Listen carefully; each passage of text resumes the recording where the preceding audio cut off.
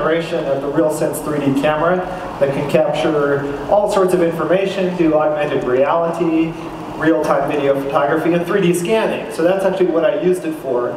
So if we actually scan um, any box here, we have about a thousand of, uh, of these crates backstage, and it grabs all the dimensions. Let me grab one more here. It Grabs all the dimensions of things in real time,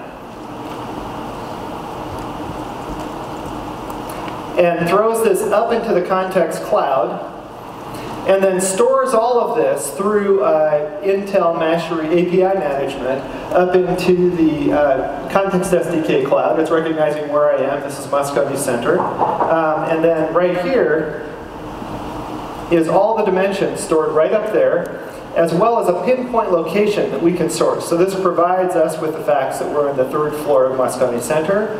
Um, the, the context system will recognize that I am in this location, but I probably want to ship it to work.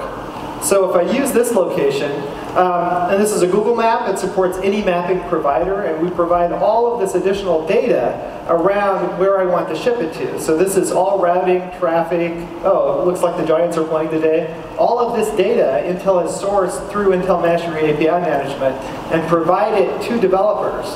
So I've set up a rule in the cloud that can allow this item to be picked up on Friday. So this crate will be picked up by our shipping partner on Friday.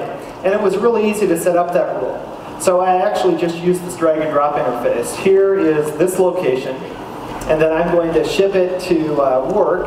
And I'll actually ask my shipping partner to get an alert when this um, item is ready to be picked up. And I can just, you know, name this, let's send them an alert, save that rule, and that's the uh, Intel Context SDK available now, and the RealSense um, integrated tablet camera that you'll see in market in 2015.